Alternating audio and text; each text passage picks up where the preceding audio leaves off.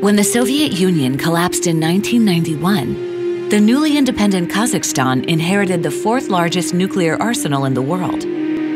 Having suffered the effects of nuclear testing for years, Kazakhstan joined the Nuclear Non-Proliferation Treaty and became the first country to voluntarily give up its nuclear arsenal. Located at the crossroads between the East and the West, Kazakhstan is home to 140 ethnic and religious groups.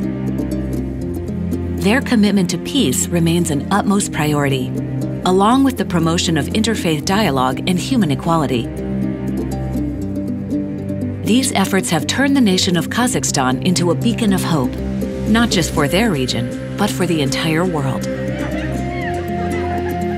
The Palace of Peace and Reconciliation in the capital city of Astana is a stunning manifestation of Kazakhstan's commitment to cross-cultural dialogue as an antidote to extremism. Inside the pyramid are accommodations for many different religions and faiths. Conceived as a global center for religious understanding, the building hosts the Congress of Leaders of World and Traditional Religions every three years. In 2009, at the invitation of the Kazakhstan Embassy in Washington, D.C., Intersections was invited to participate in the Third Congress of Leaders of World and Traditional Religions. The Congress brings together leaders from across national borders and lines of faith to pursue tolerance, peace, and harmony. Intersections has continued to participate on multiple occasions in the Congress, as well as in a leadership role with the World Forum of Spiritual Culture and the Embassy of Kazakhstan's annual Interfaith Dialogue Dinner in the U.S.